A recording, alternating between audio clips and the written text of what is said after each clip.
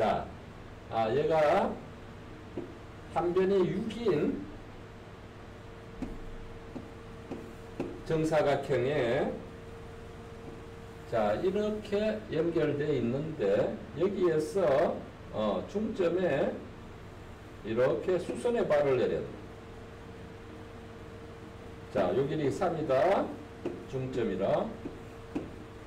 근데 이 길이가 3되도록 했네. 어. 그래 놓고 요거 넓이 구하라네.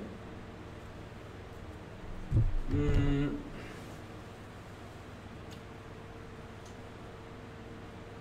자, 봐봐라. 어, 여러분이 요거 딱 보고요. 그냥 도형적으로 이렇게 풀 때는 이렇게 끄면 무조건 합동이거든, 이 두 개가. 요 길이, 요 길이가 같아. RHS 합동이네. 자, 이 길이를 X라고 이렇게 놓으면 요거 넓이는 요거 하나 해가 곱하기 2 하면 되네.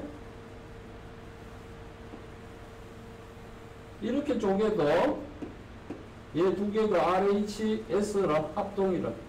이 길이가 일로 오네.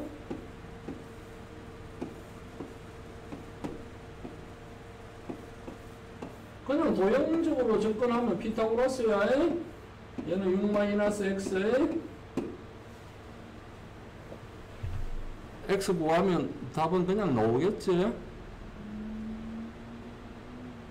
물론 저거를 좌표화를 해가지고 직선의 방정식에가 점과 직선 사이 거리로 어, 구할 수 있지만 도형으로 쉽게 풀리는 걸 굳이 그렇게 갖고 갈 필요가 없지.